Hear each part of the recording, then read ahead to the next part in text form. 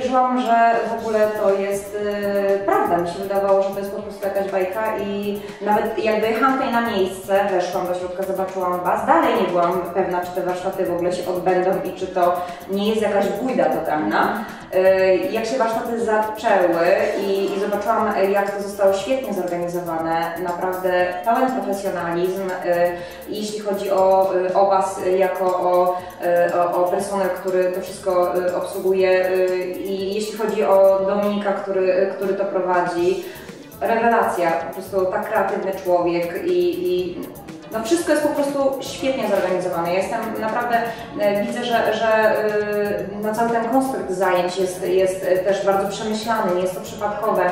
No ja jestem zachwycona.